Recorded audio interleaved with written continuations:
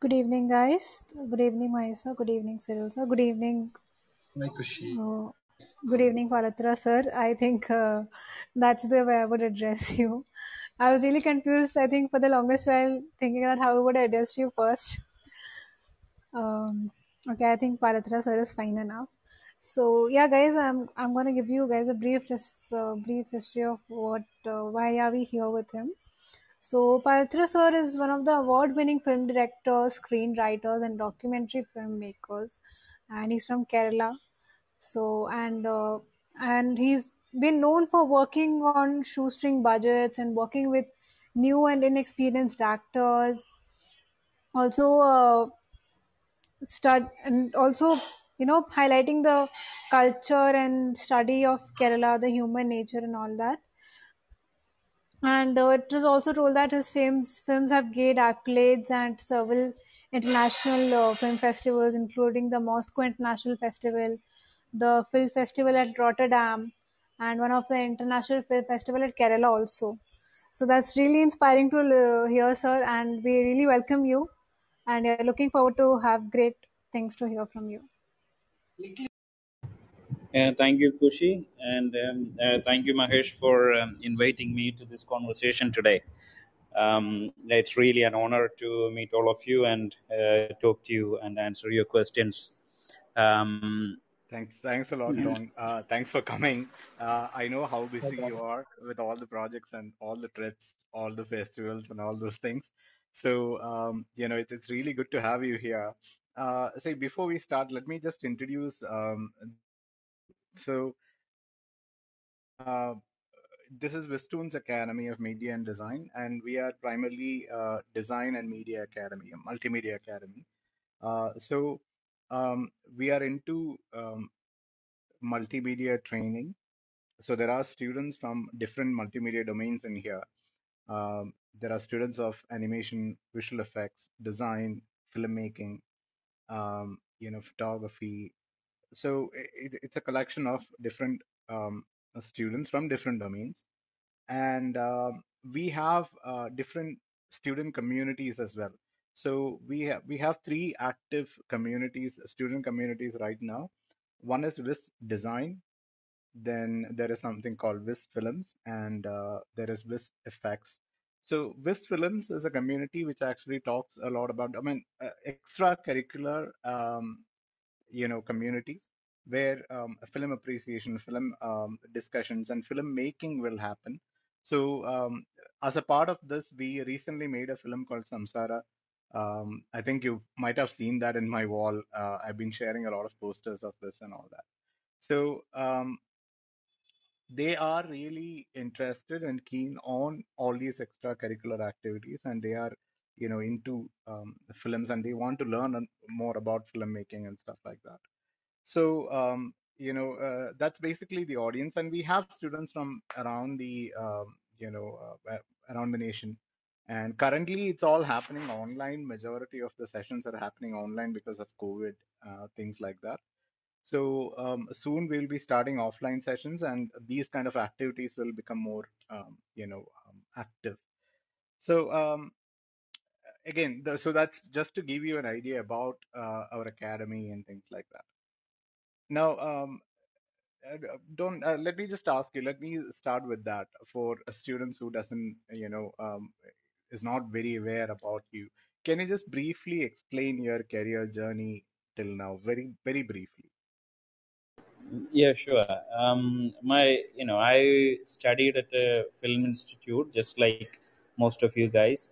Um, uh, it was in actually I studied in Sydney, um, and it was called uh, International Film School of Sydney at that time. Now they have changed the name.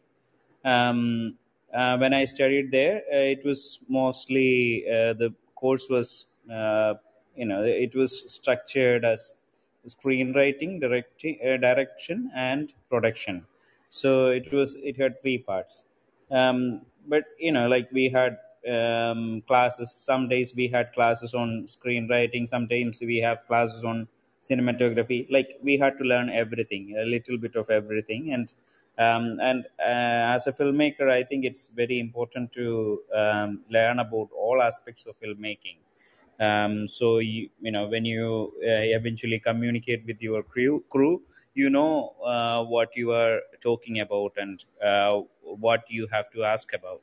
So yeah, then um, after finishing my uh, course, I came back to in, uh, India in 2014 and um, my first feature uh, film shavam was made in 2015 um, at that time i didn't know anything about distribution. Um, even you know even now i am you know kind of clueless because you know in the independent uh, scenario of filmmaking we still you know it's very you know, the you know the most difficult part according to me is distribution. Um, anyway after uh, making the film i you know i had this idea that or you know the false idea that uh, the people will just you know uh, reach out to the film and they would uh, watch it if they would, if you know if the film is good. That's what i that's what i used to believe at that time but uh, then slowly i realized that you are not the only filmmaker out there and you know you are not the only one making films. Um, and you know pr is a huge thing. So many people are making films and the competition is uh, so high. Later um, while um, later I um, managed to strike a deal with Netflix, luckily, and um, the film was later screened on Netflix. Um, then by that time, I have I had already started the production of my second film, uh, which was Vith. Uh, it was um, more of an art house film, like um, it was you know it was contemplative in nature um, also, um, it had only two major characters and um, uh, not many dialogues. Uh, and you know the I and it it was in a really slow pace um, if you look at the film. So um, and it was not meant for everybody uh, for obvious reasons. Um, but um, later that film was screened on Amazon and it went to a couple of festivals here and there. But you know, none of these festivals that Shavam and Vith went were um, really big or anything. They were mostly B grade festivals. Um, at that time, I didn't know how the festivals worked. Um, I yeah, just entered uh, Withoutabox and FilmFreeway and used to send um, to all the festivals that I could find. And um, only after making two big mistakes i realized how not to approach film festivals. Um, and then um, the third film happened uh, in 2019 only um, it um, a few uh, i was you know i was looking for producers. I talked uh, i asked almost everyone i could find uh, for funding for a, for the next film. I you know i was um, uh, you know i was searching for um, finance you know for the finance. But later uh, when i was least expecting it a bunch of guys came to me and asked if i have any script that i was ready to uh, work on and uh, make a film about. They had actually seen the film uh, shavam and that's how they um, thought about working with me. And um, at that time i had a script actually. I had a couple of scripts at that time and i told them one story. And straight and straight away they liked it and they said that they could uh, we could start the pre-production straight away. And um, yeah then you know the that film happened in within uh, less than five four months. Then um, that was the film 1956 central travancore that's the first film that uh, travel to a proper festival outside India. Like, um, um, I mean, when I say proper festival, um, a physical festival that um, that was ready to pay you, you know, pay to take you there as well. So um, uh, it it went to Moscow International Film Festival, and also uh, before that, because the producer was a really nice guy, they uh, they were ready to screen the film at um, Busan Film Market as well, also Goa Film Market. Um, so uh, it made some uh, impact uh, in the festival circles. Even the festivals which didn't end up taking the film uh, still watched the film and they had something to talk about the film. So that was um, very positive thing for me as a filmmaker.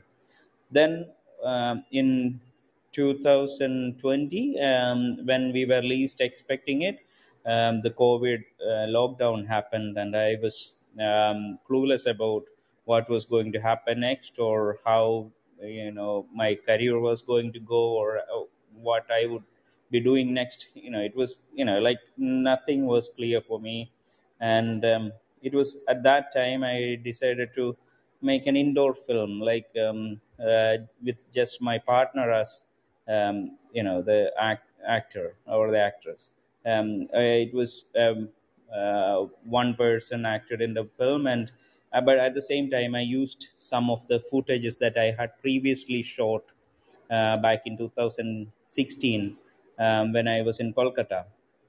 So i used that footage and uh, coupled that with um, the interior footage of the drama the relationship drama that i was uh, shooting and um, made it um, into an experimental film about um, filmmaker's um, relationship struggles.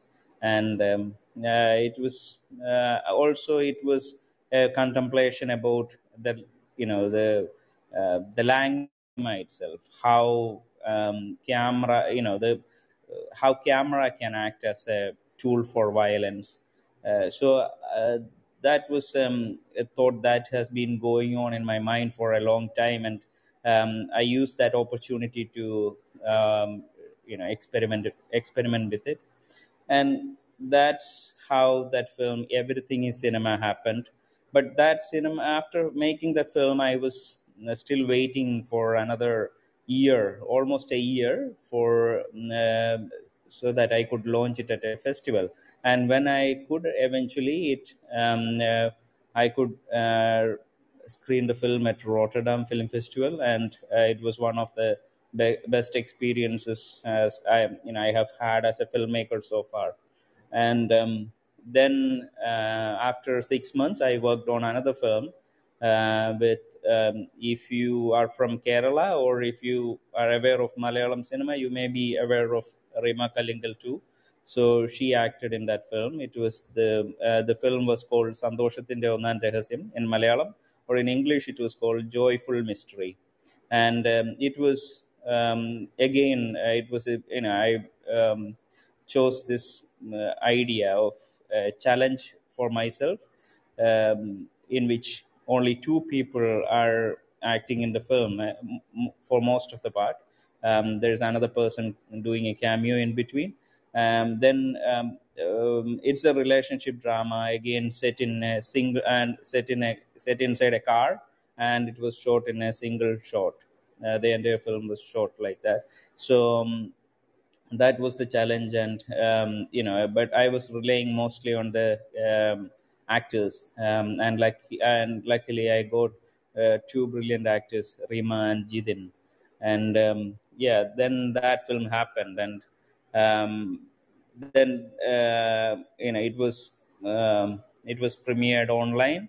Before that i was lucky enough to screen that film at iffk also the film uh, went to moscow international film festival in the main competition yeah and we, um, here i am you know writing uh, trying to write the future films that i am working on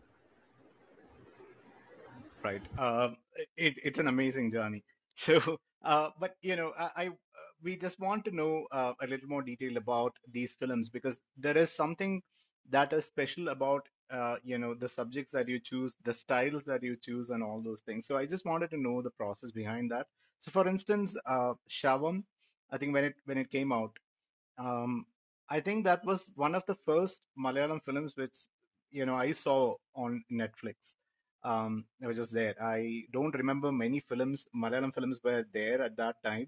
I think this was in 2015 or 16. I'm not very sure about that. I think around that time. And um, I saw the film uh, in Netflix itself.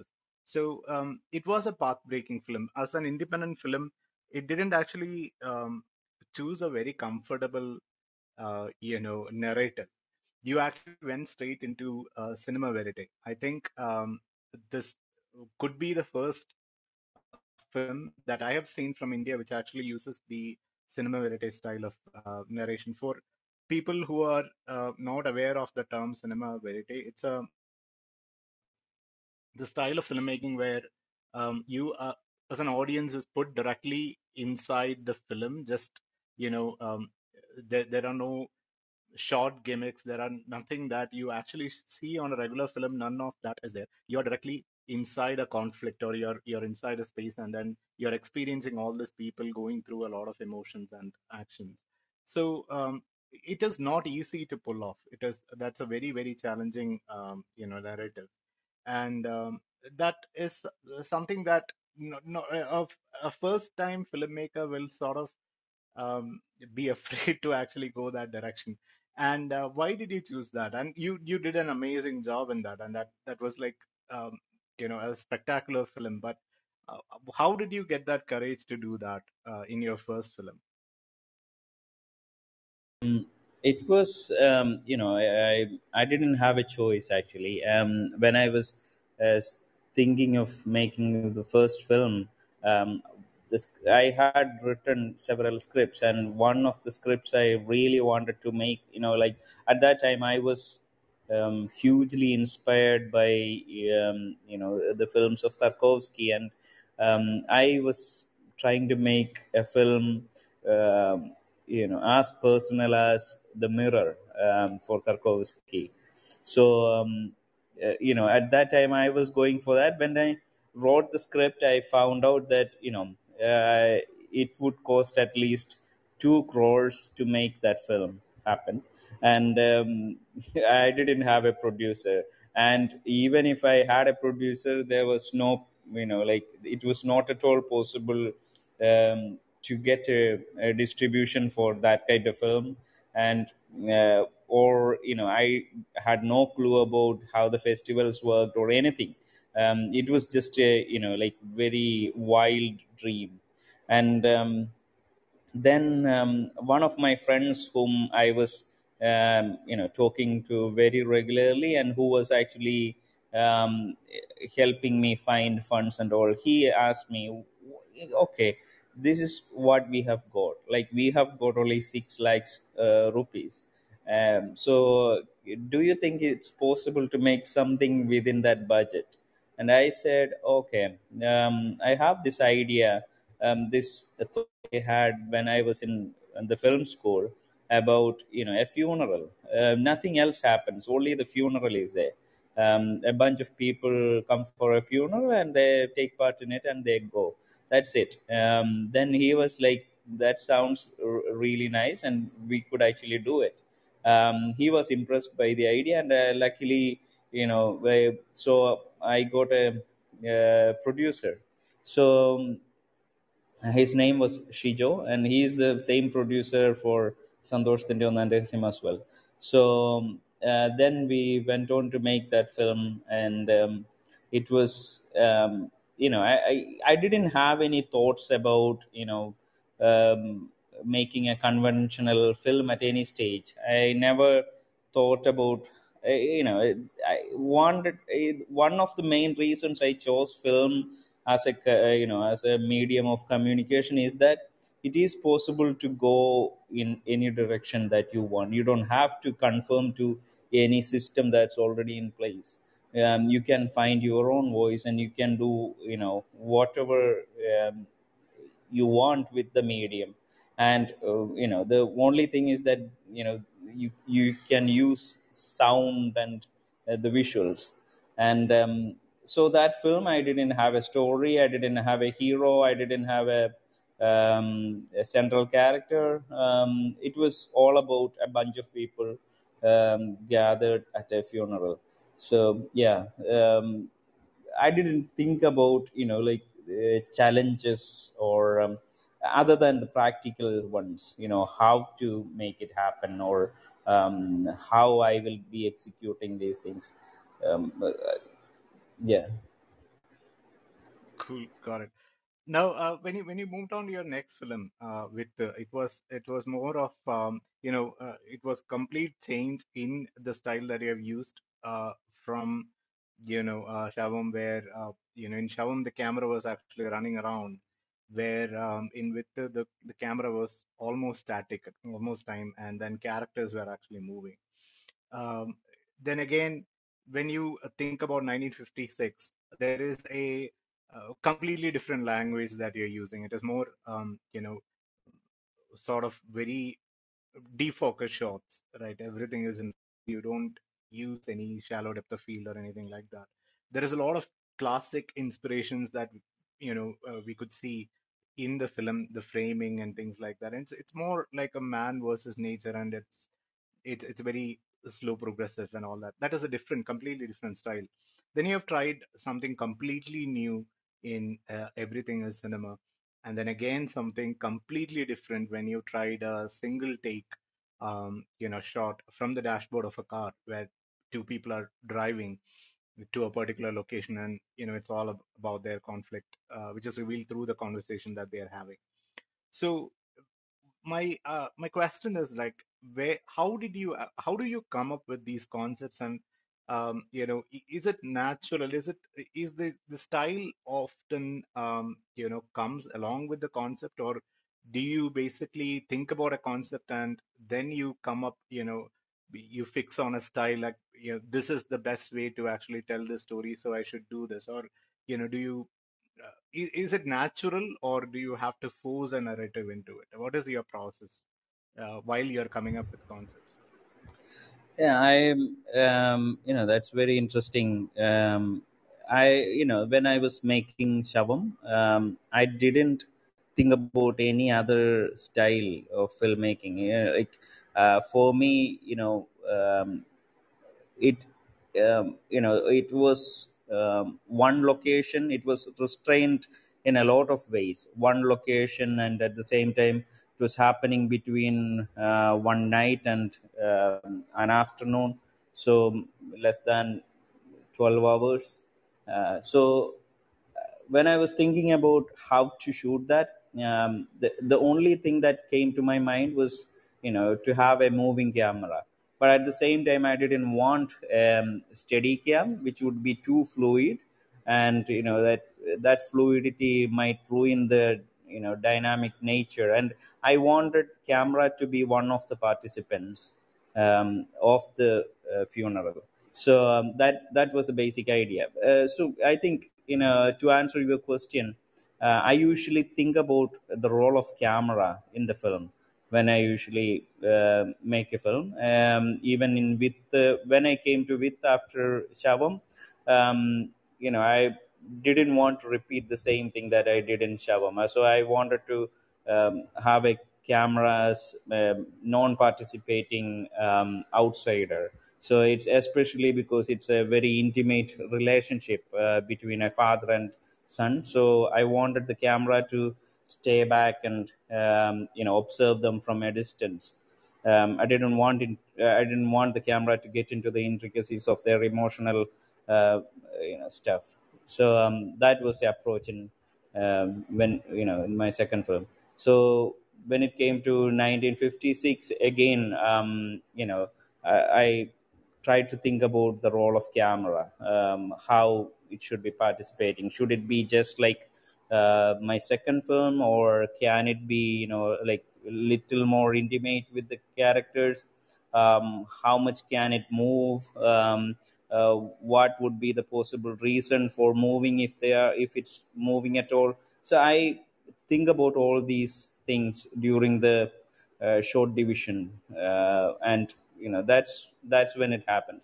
But for സന്തോഷത്തിൻ്റെ ഒന്നാം രഹസ്യം um, alone um, i you know it, it came in the beginning itself. I had this idea that okay uh, since it's a relationship drama um it should be restrained but i didn't want to set it in a um, room again because uh, i had done not, done that already with everything is cinema. So i didn't want to repeat the same thing. Uh, so i decided to leave the camera at the front um, giving both of them equal space and um, i didn't want to take sides again. Um, yeah so you know like uh, you know basically you know you think about the role of the camera. Um, uh, but it sometimes happen when i am already writing the film. Sometimes it happens after writing the film. Sometimes it you know these thoughts are there like different options are there in your mind while you are already writing the film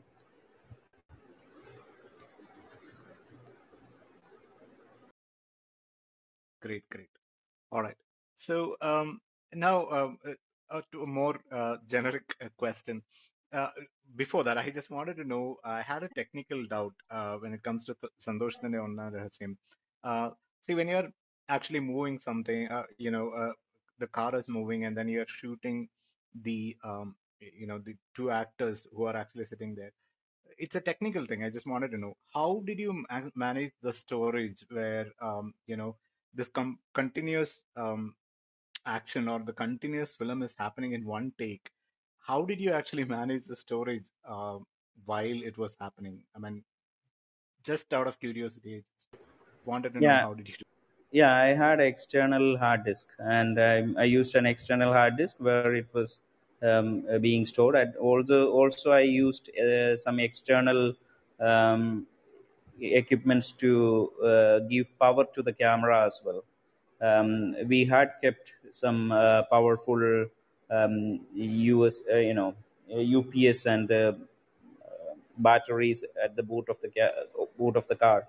Um, you know, luckily I got um, you know uh, two technicians, um, the the DOP Saji and associate cameraman Jensen. They were really good at sorting out these things, and you know they came up with solutions um, every time there was a problem. So yeah, and we we even uh, lit up the face of the characters from inside the car.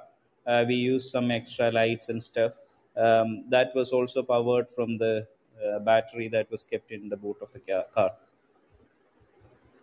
all right got it got it interesting so um, now uh, you basically you did the editing i think uh, from um, the second film onwards right you were handling the editing by yourself Um, yes. Um, um, in the first film, also, I did sit with the editor. We did. Um, the, I did uh, the first edit and gave the film to him, and then he didn't actually look at that edit. He made a cut of himself, which was completely different from what I had initially imagined. Later, the final cut was um, an amalgamation of both these edits. uh, Great, great. So, uh, see, one other thing is that, see, uh, for a uh, film, which is, you know, when you say like mainstream uh, narrative films and all that, often the edits are or the cuts are triggered by, um, you know, the dialogues or the characters or their actions. But when it comes to your films, it is not easy uh, to find out what is the right, what is the sweet spot to cut. How do you actually, uh, you know, uh, see? Do you do you you know have a vision on how the picture should uh, you know form uh, in your mind before you start shooting and because it's easy usually in films that i've seen most of the time it is there is a trigger element that actually it could be the another character being introduced or a, a new dialogue starting or maybe a new character or an action. But it's your edits are not based on any of that. How do you come up with this formula of editing? I don't know if it's a good thing to uh, talk to all these film students here, but um, I, you know, uh, when I'm shooting itself, I have this idea of edit most of the time. So I don't uh, have any extra footages um, other than you know what I'm planning to use in the final cut. So um, that's you know, uh, but still you know during the edit, uh, so much um, you know. Uh, so many things happen and i usually end up uh, cutting off at least uh, 10 to 15 minutes of the footage yeah but um, for uh, for example when it came to 1956 central travancore the first cut even after all the cropping and stuff i still had around um, 97 minutes of the film later another um, uh, five minutes uh, i could you know leave out another five minutes when i came to the final cut Got it. So now uh, a more generic question. So as an independent filmmaker, what are the struggles that you had in the beginning of your career, and um, what are the advantages that you had? Because independent filmmaking is actually, um, you know, it, it is an independent establishment. It is not connected to the mainstream cinema. It's not, uh, you know, that studio-driven culture or the producer-driven culture which is happening there. So, um, you know, why did you make that choice to go into independent filmmaking? That's one. And once I have made that decision that I don't want to go into uh, the you know the standard um, film industry, I want to go into a parallel uh, filmmaking uh, you know path. So uh, after do making that decision, what are the struggles that you have faced, and what are the advantages that you had uh, in that particular path?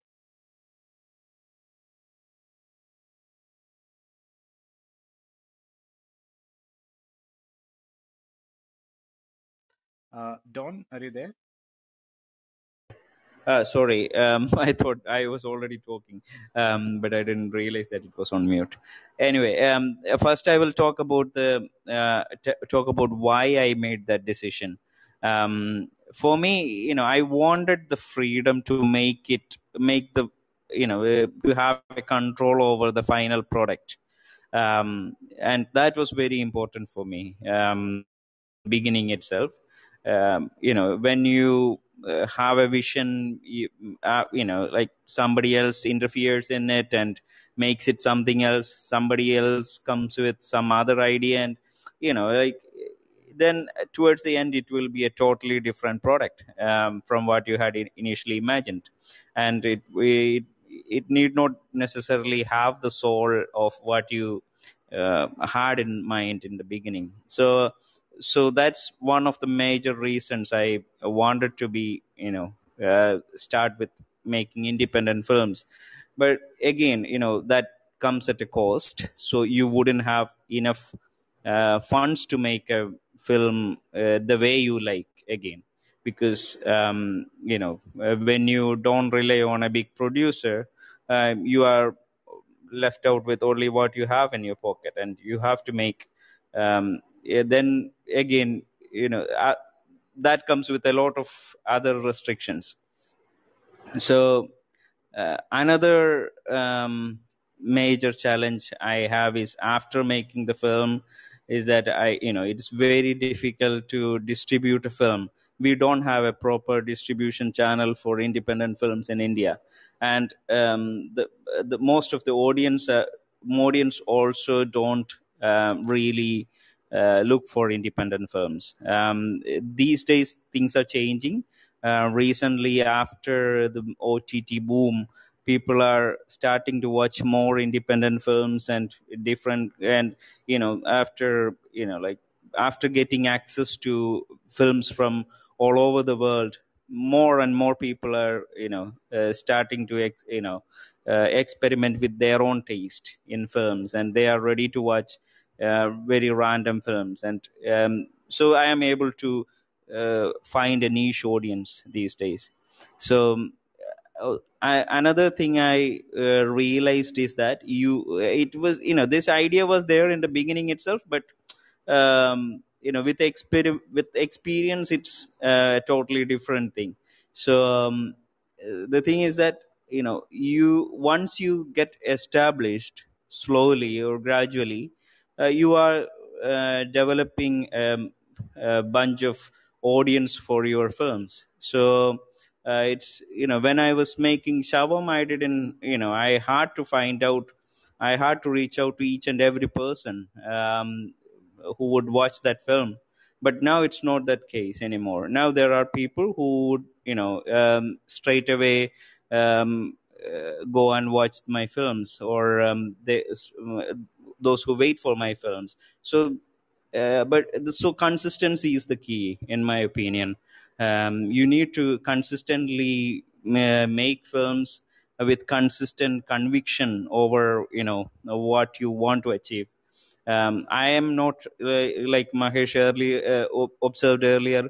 I'm not someone who sticks to one particular style of filmmaking. I I try to experiment with the uh, language of the camera, language of the film.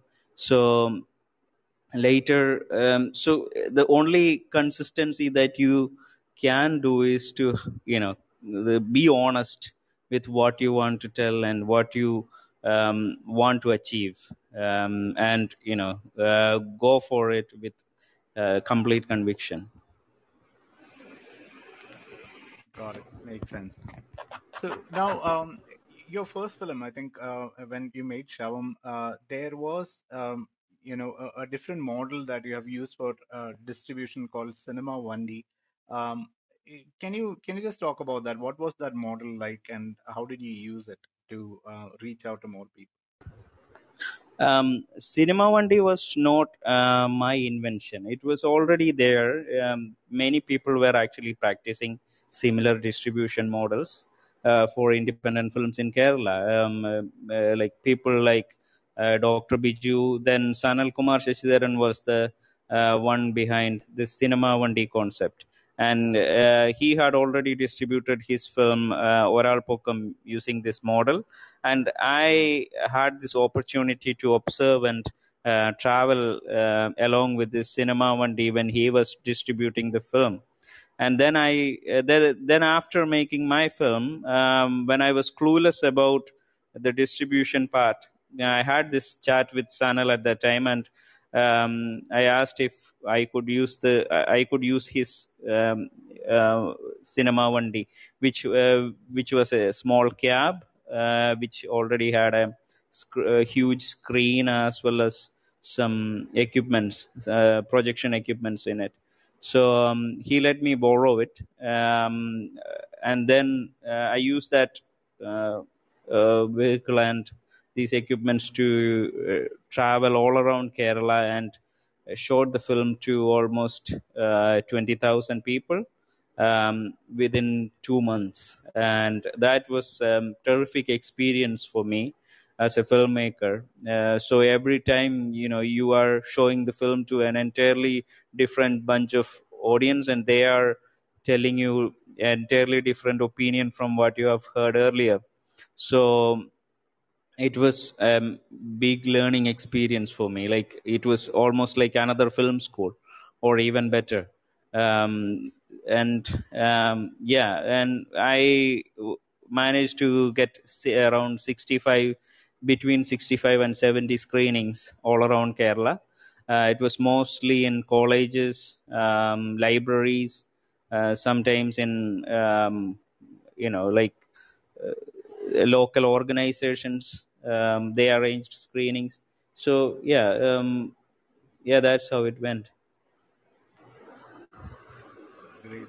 That sounds like a very interesting platform uh, especially for new uh, filmmakers to, to travel along with their film and show it to as many people as uh, you know you want so uh, now you have, um, you know, uh, you just spoke about the OTT um, platforms, and uh, we all know that because of this, you know, especially after this pandemic, like right now, everyone is uh, sort of hooked into these OTT platforms, and there is a huge debate happening right now whether to release films on, uh, you know, OTT platforms or uh, in theaters. Now, uh, how favorable are OTT platforms to independent cinema currently? I mean, all around India, how uh, you know, um, is it a potential platform for independent filmmakers, or you know, do they still uh, ask for you know big cast members or you know things like that? Yeah, definitely. They um, ask for you know like in the uh, it was. Uh, that model was uh, clear for me from the beginning itself. When Netflix first came to India, they were ready to take independent films, uh, but you know that was um, I I had this, uh, you know, uh, I knew that there that was not going to last for a long time because in the beginning, uh, that's how all these big corporates work. They take all the content uh, they can, uh, almost everything that they can, and then they choose. Um, then they f- learn about the audience and their taste and um, then they stick on to the uh, content that that that can be sold more like that's more sellable so uh, you know now, now in the beginning it was all about content. They said oh, it's all about stories. It's all about content.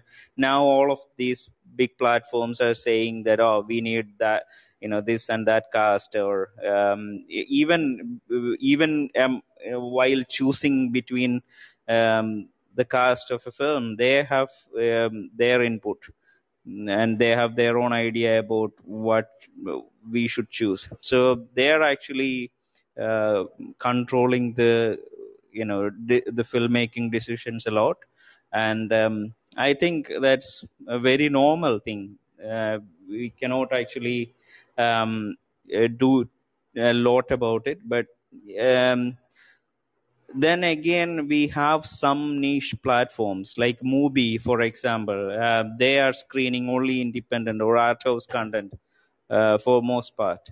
Um, and I think some other platforms are also evolving, um, which have uh, which curate alternate content. So yeah, it's a, it's a is breaking. Your voice is breaking.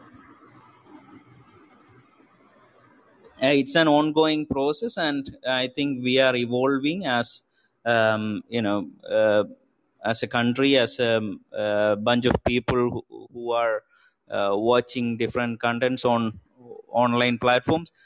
Even today when i even when i released uh, Santhoshathinte Onnam Rahasyam on ott mo- out of all the reviews i got i i know for sure that most of the people uh, who watched the film watched it on telegram or um, on um, pirated copy of the film. So it's all you know, like we have a long way to go before we, uh, you know, become mature enough to pay for what we consume, and um, yeah. It, uh, to make uh, OTT a proper method of distribution.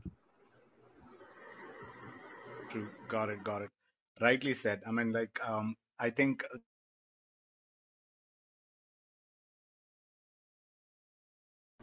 independent filmmakers, if they do start doing that to independent, uh, you know, it, it is not a good uh, way to go. I mean, like, it, survival is going. Yeah, yeah, but because you know, like if you are um, even a pay per view model is not really uh, you know profitable for the producer. Uh, when we you know, like you are left with um, you know, like uh, coins or like pennies when you are actually distributing for um, pay per view. Because, um, uh, for example, if I talk about Amazon, uh, for one hour of viewing, they are paying only four rupees, and um, and it's you know like uh, so how many hours of viewing do you need to even recoup the money that you have invested for a film which is about 50 lakh uh, you know. Um, uh, yeah so it's you know it's still you know we have a long way to go that's all i can say. And i'm still clueless about um, you know the uh, the only method of distribution. Um, only if you have um, i think one has to explore different methods of distribution um, without relying completely on ott OTT, can be one of them. Uh, then uh, you should be able to find a, a satellite um, TV distribution in India and abroad. Um, and pro, you know DVD sales. I don't know how much of that is happening anymore. Um, you know, but you can have private uh, screenings um, at universities and other stuff. Um, then you know, like so you have to explore so many different methods of distribution to recoup the money uh, uh, unless you have a big star attached to your film Got it. Got it. So now I just wanted to ask you, um, what are your experiences with crowdfunding platforms? Like I think you have mentioned about Kickstarter. uh, you know um, that um, you know is there a good platform for Indian independent filmmakers to start um, you know uh, looking for funds uh, to make their film that or you know um, I'm, I'm not sure how popular Kickstarter is in India right now, but um, what do you suggest? Is crowdfunding a good way to start for independent filmmakers? I haven't had any recent experience with crowdfunding. The one that I did was for Vith in 2017. That is, it has been already four years since then. But at that time, it was a um, very uh, difficult time. I was having a very difficult time with crowdfunding platforms because um, Indians were not with platforms like Kickstarter or um, um, at that time there were so many of them uh, which in in australia there was another one i forgot the name. Um, but in india there were no uh, crowdfunding platforms dedicated uh, for films or even you know in general. But then um, wishberry uh, started um, their work in india at that time. And wishberry was the first one of that kind i think. Um, then they they were ready to help. Uh, they offered their help, um, but um, but then again i you know like after running a kickstarter campaign i thought i had this thought about who my potential investors go, were going to be. Then i realized that it was you know only the people who have watched my previous film are going to invest uh, in my next film. Uh, then um, and that's like that's the you know the, that's the actuality of things too. That, that's how it actually happened. Only the people who watched uh, shavam uh, invested in the second film. Um, they already had this idea about uh, how i was you know going to go about the content or the style of filmmaking. Um, and they were completely okay with it.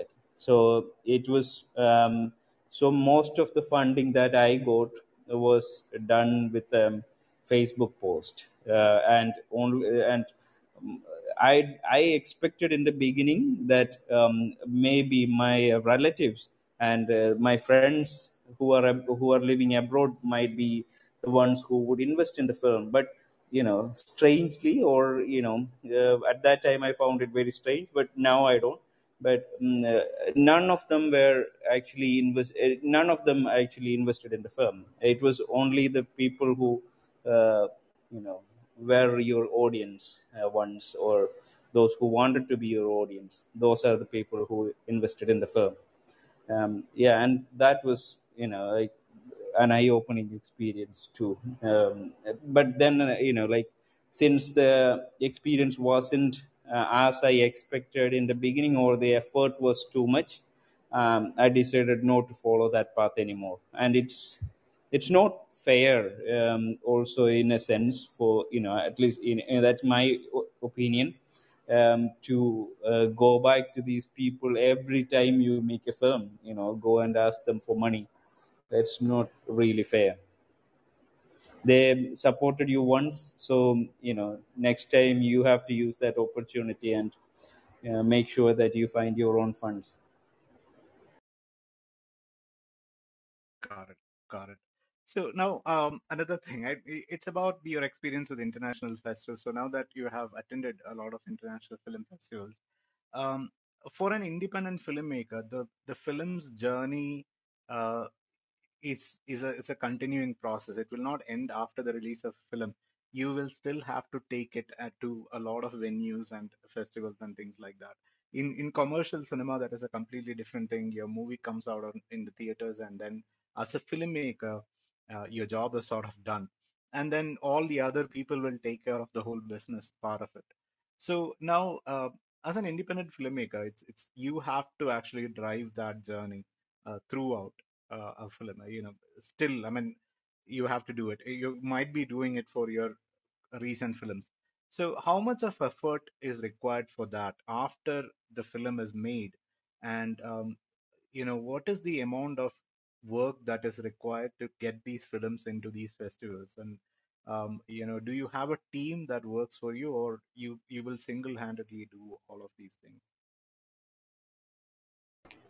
Yeah like um, you know like i said in the beginning about my first two films i was clueless about what to do after making the film. I um, just imagined that the people would automatically come and you know ask for the film or uh, the film would would find it, its own uh, destiny automatically. That's what i imagined but you know i was completely wrong. Then um, after making two mistakes um, with the next film i had a bigger budget and i had an investor um, and um, so i had this responsibility and i was answerable to him. Um, i- not in terms of the returns but in terms of you know the effort that i put in. So um, so uh, after you know and in the beginning itself they asked me for a strategy or a plan with you know uh, getting the films uh, film to the festivals and um, i had uh, been to uh, film bazaar once. Um, that was my only experience with curators or film programmers. And it wasn't very positive uh, but you know still i told them okay there's a venue. There's a um, avenue called film bazaar. We could try that. And there are film markets abroad. We could go there and try to sh- screen the films there um, and they agreed. Uh, so after making the film they were ready to take the film to busan film market where we screened and uh, there the film got a little bit of publicity because um, a small feature came in the um, uh, variety um, and then um, uh, some other you know also i was able to network there. I met a lot of curators and programmers. I was able to talk to them. I uh, got feedbacks on how, why my film is not suitable for uh, their festivals at least. So i i got this idea about how these festivals work or how they the, how, how the programmers think. Um, i got this general idea about it then after one month the film bazaar was happening in goa. And i went for that film bazaar. There i met more people. And some of the same people i met in busan also. So uh, by then you know that becomes an acquaintance. Uh, you are already you know you are already familiar with them. Uh, you already met them at a, a couple of cocktail parties. Now you are meeting them again here. So you know their names. They know your name so it, you know it's it's all about you know uh, growing your circle and um, making um, in new connections. So at at film bazaar i was lucky to meet the uh, program director of uh, moscow film festival. He watched my film there uh, because we had a public screening at film bazaar. Uh, that is uh, not public screening i mean like a private screening uh, for programmers spe- for specifically for programmers and media uh, there he watched that film and he was impressed by the film so he asked me um, during one of the cocktail parties there he asked um, i went and met him and I, I, because i had already spotted him uh, at um, the screening and i said uh, hello, sir. Um, my name is Don, and I'm coming from Kerala. You had watched my film uh, there. It is uh, this particular film, and what did you think about the film? And he said, Yeah, I really like that film, and I would like to take it to the Moscow International Film Festival. Would you be interested in screening it there? Then um, I said, Yeah, of course I would be. Um, then you know that's how the journey started and once you get start getting noticed uh, you know more festivals would follow um, uh, automatically. Because because of this moscow screening the next year iffk screened the same film. And uh, you know it also traveled to several other festivals abroad. I uh, traveled to spain um, and also you know uh, several festivals in india also. Then and and the journey never ends uh, for an independent film. Like um, you know eh, not for, not only for one film. It's it's always like you know the, the and the film never gets too old um, because I, I know this fact because um, one of the films that was there in uh, 2019 Film Bazaar with me, uh, with my film, uh, didn't get screened anywhere for the next two years almost. Then this year, uh, that film got uh, got premiere at Busan Film Festival, and after Busan, it went to London Film Festival. Uh, not any uh, festival in London. The London in, London, the BFI London Film Festival. Then um, many other festivals followed. Pingyao, um, and this year he is going to screen it at a big festival in India also. So, you know that the journey can start at any point. You wouldn't know. Like you know, he had to wait for almost two years uh, without knowing the future of his film. Um, yeah. Also, uh, when I was and also I, I was talking to other programmers also while uh, this decision to screen the film at Moscow happened. Um, I had I, I was talking to um, guy from Tribeca uh, also, but they didn't confirm anything. Uh, then I was talking to a guy from um, um, uh, Directors Fortnight at Cannes. Uh, they also didn't give me a definite answer. Um, they were like you know taking their time to take a decision, and I had to grab the first opportunity that I got. Uh, if I waited for another one, uh, another festival, um, and uh, if that also didn't happen, then I would be losing both the opportunities. So I, you know, I went with the first opportunity that I got. Uh, I don't know whether that's the best strategy, but who uh, was starting out, I think, um, you know, that was the only option that I had at that time. Um, yeah, yeah, I, I think that's pretty much it. Got it. Got it. Got it. So uh, now another thing that I just noticed that uh, you are you were also part of the recent uh, IFFK jury, right? And uh, you know, um, and you know that that's a that's such a huge thing. And um, your film was actually screened there, and right now you are a jury member in that uh, you know uh, festival. I think uh, Krishnendu's film was also there in the list. Um, that uh, so I was actually following that, and I thought you know I saw uh, that you were a member of the jury. Um, how did you feel about what? What is your thoughts on that? Uh, what is what is your experience on that? How did you get into the board, and then you know? Yeah we had um, you know um, it it again you know it was another uh, learning experience for me because you uh, even though you are forced to watch so many films that you really don't connect with um, you are still um, learning from other people's mistakes and other people's um, some good decisions by other people also so so many um, so many uh, you know bad films were there bad, poorly made or uh, without any vision or people just wanted to um, you know the, uh, one positive thing about digital uh, filmmaking uh, in my opinion on or you know or in the opinion of many other people is that you know it's um, the um, the medium is so approachable for you for anyone for that matter and that's a very good thing. So when that happens um, uh, one side effect is that you would get so much trash also. Um, uh, so uh, you you know the and the process is to eliminate all the trash and you know find uh, the only the gems. Um, so and uh, that was you know that is something that we were trying to do. Uh, you know there are so many ethical issues there uh, while choosing a film. You know sometimes you know like you personally like a film um, uh, but at the same time you know uh, you are a part of a jury and it's a democratic decision. Um, uh, also you know you are per- working for a particular film festival and it has its own um, criteria for selecting a film. So all these factors are there. Still um, you know luckily i was you know um, i didn't have to make too many amendments uh, when it came to um, the final list. Um, i didn't have to leave out many films that i really liked.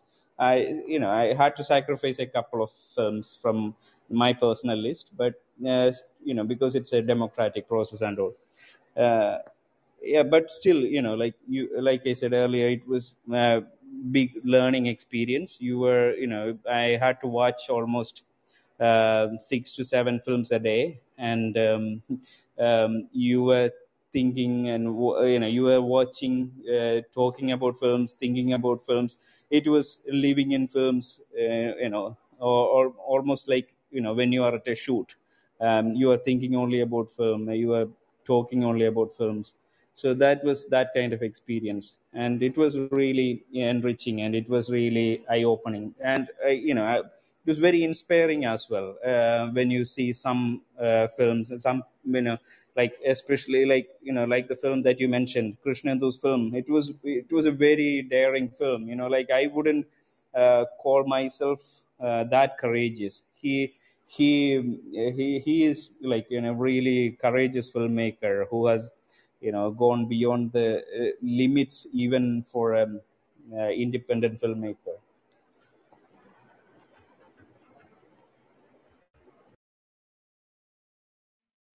Got it. Right. So uh, now we, we are about to, uh, you know, uh, reach the end of this session. I just want to open up. Kushi, can you can we uh, open uh, the um, the venue for some questions from the audience and the students if they have?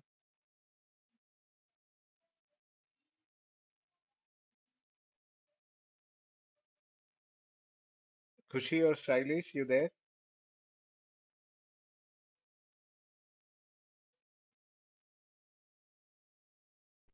Yes, sir. Uh, can we open up for some questions from students?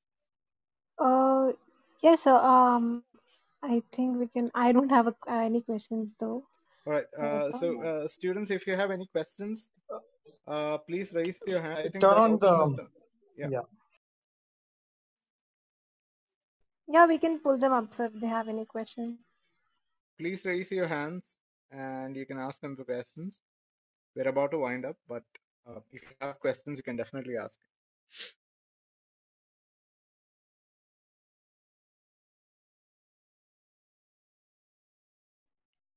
Uh, could you just check if they have the option to raise their hands?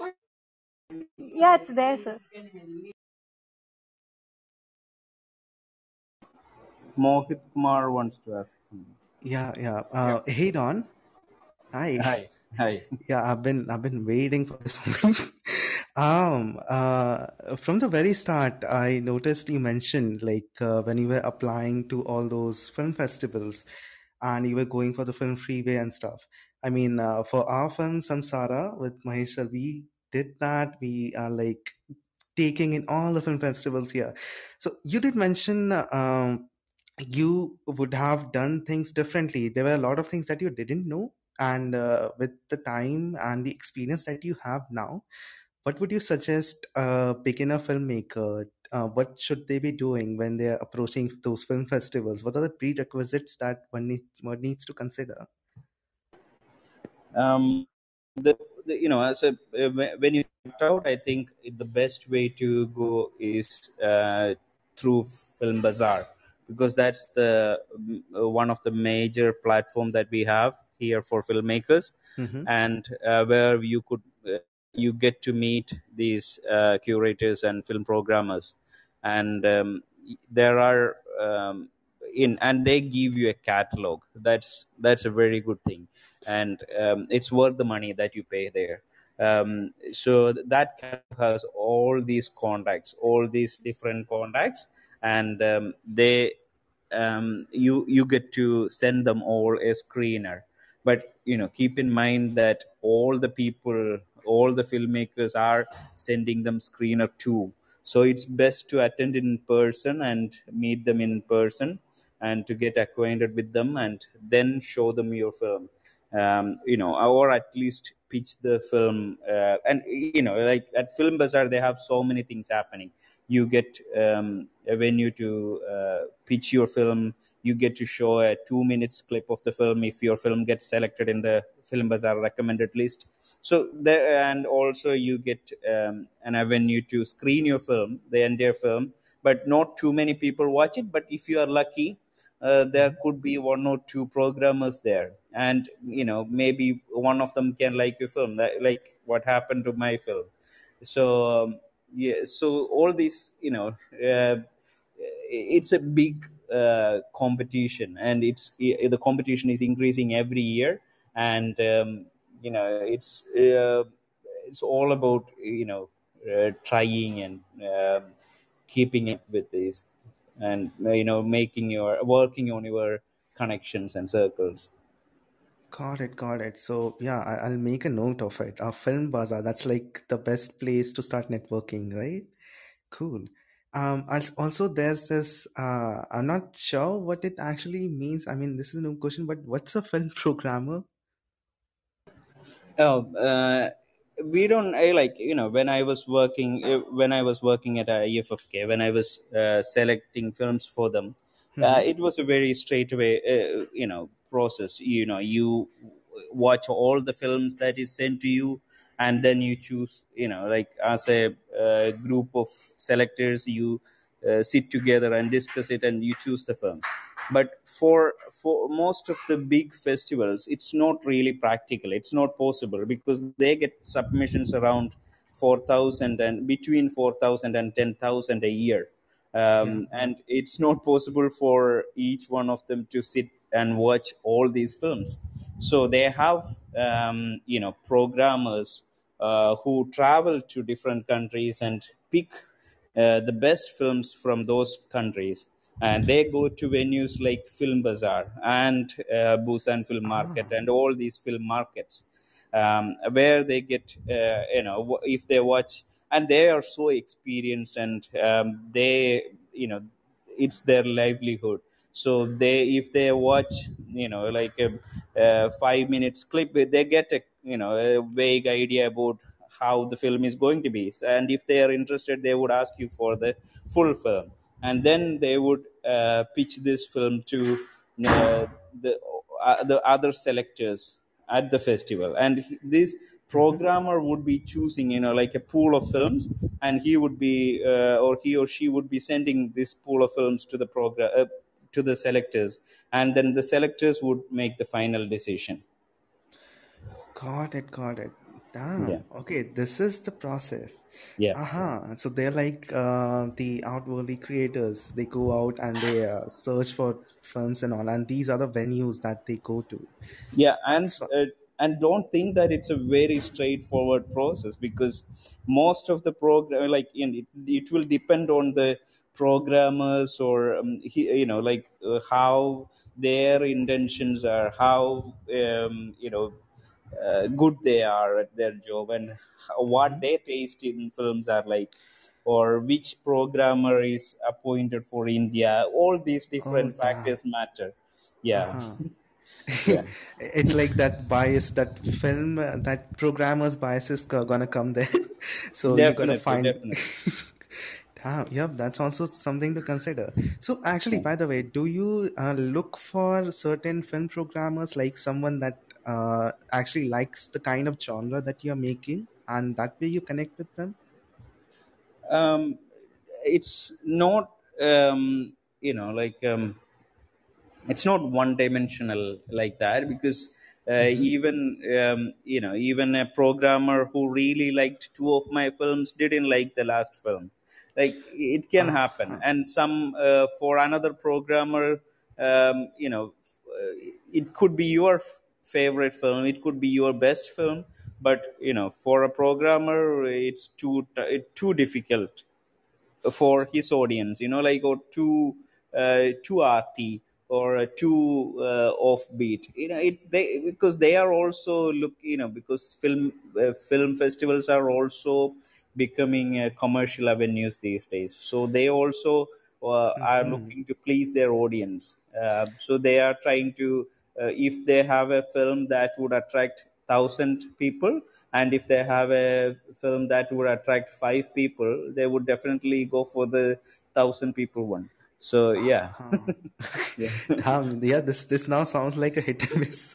Uh, there's that uh, programmer's bias, then he's also considering all the, his audience, like what kind of films they'll be considering and what kinds of fine films they like. Cool, cool. definitely Huh, I'm I'm definitely making a lot of notes of it. Thank you for that info. Uh, that was quite helpful. yeah you're, you're welcome Mohit. Thanks, Don.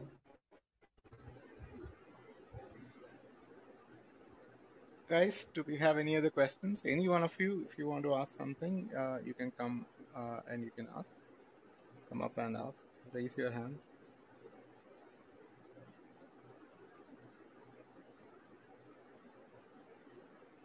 Okay.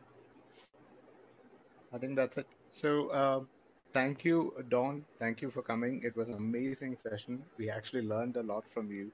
Uh, an inspiring journey. Definitely going to be useful for all the students who, who are tuning in. And uh, thanks a lot. Thanks for coming uh, out of your busy uh, schedule and then, you know, engaging us with a lot of, uh, you know, thank you. Thank you, Mahesh, and thank you everyone for listening patiently. And um, and and this was an opportunity for me to uh, remind myself of many basic things, and you know, um, um, yeah, th- th- those are some. Uh, most of them are many uh, things that I would usually forget. Um, so thank you for giving me this opportunity to remember all this, and uh, thank you for the wonderful questions too. Thank you, Mahesh. Thank you. Thank you. Thank you, guys. Good night. Have a nice weekend. Bye bye. Thank you, everyone. Um, thank you, sir. And good night, everyone. Thank you, sir.